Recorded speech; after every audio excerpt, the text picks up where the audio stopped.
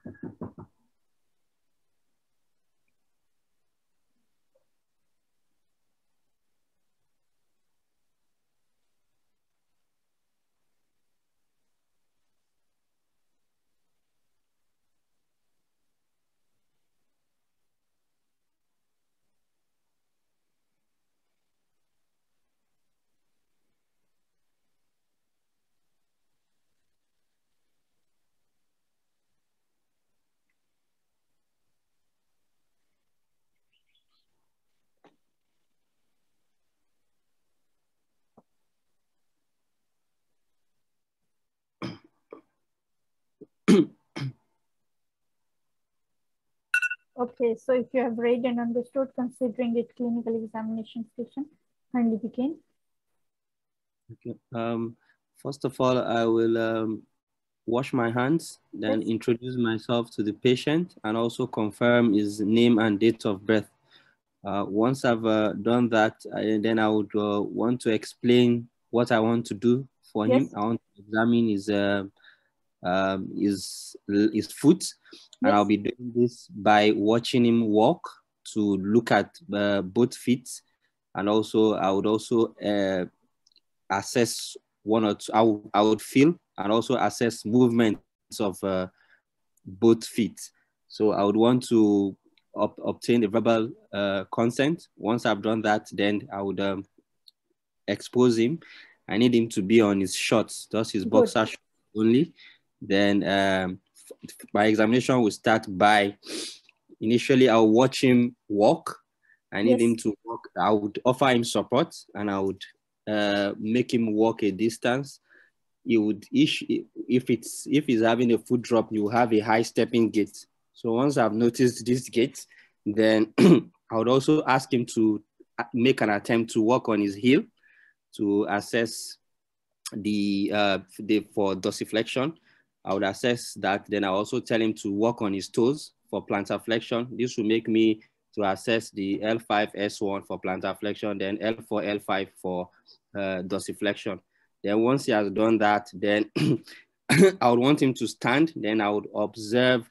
I would want to inspect for any form of uh, obvious deformity. I would look for any skin changes, any scar on his um, limbs, and also if there are any form of uh, uh, and also there any scar any uh, any abnormalities in the limb, and if there's also any form of uh, asymmetry in the bulk of the muscles, I'll look at the bulk anteriorly, posteriorly, and also from the side. Once I've done this, my next uh, series of examination will be done while he's uh, lying supine. So I would uh, want to, first of all, I would, I would ask him again if he's having any pain before I go ahead. So I don't um, and if he's having any form of discomfort, I'll be gentle and I will also stop. So I would want to test for any form of, uh, I would assess the temperature. I'll do that bilaterally, starting from the knee downwards. Then I also I test for tenderness. I'll be watching him if there's any form of grimace. Then once I've assessed that, then I'll test the pulses. The pulses I'm interested in here, I want to check the popliteal, the dorsalis pedis, and also the uh, the posterior tibial. I'll start with the, I'll start all my examination with the normal foot and end with the affected uh, limb.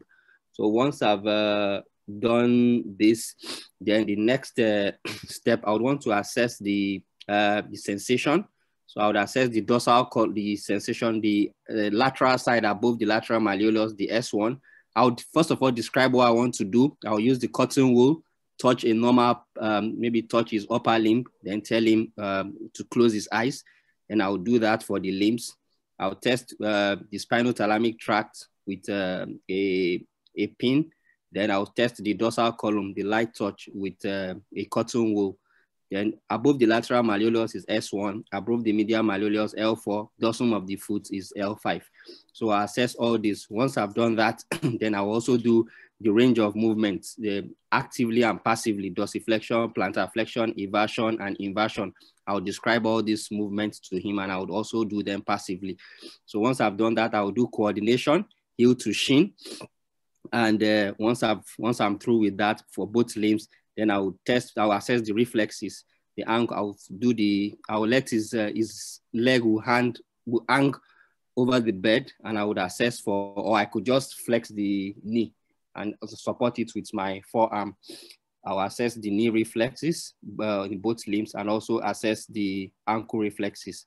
So once I've uh, done this, I would then I would thank him.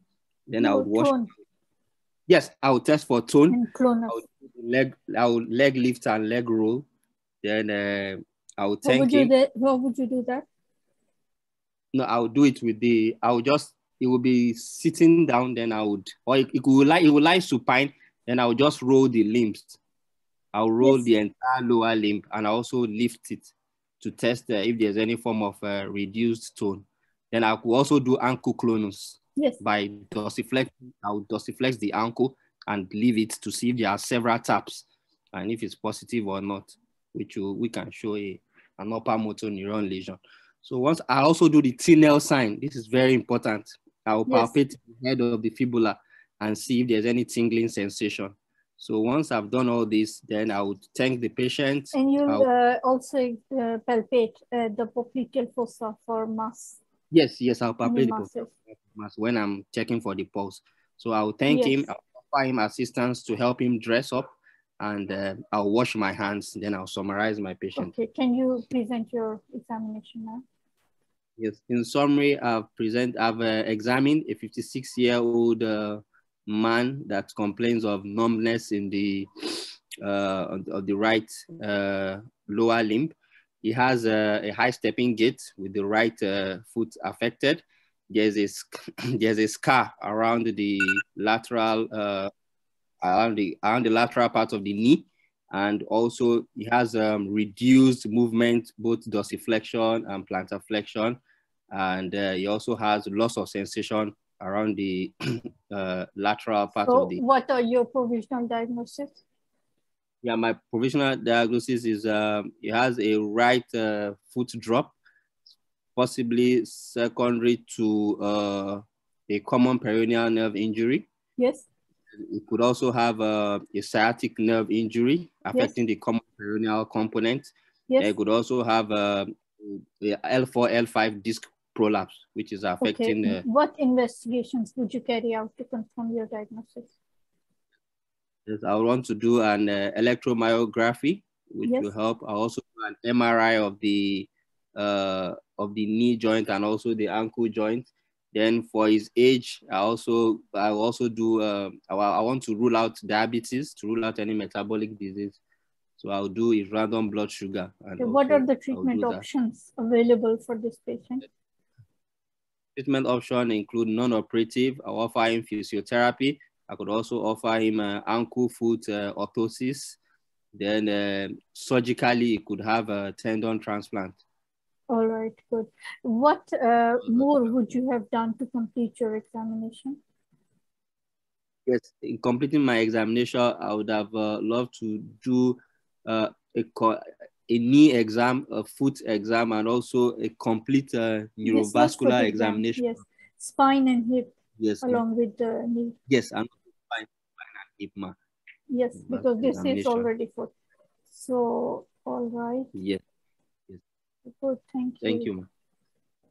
Few seconds left, five, six. All right. Good, thank you.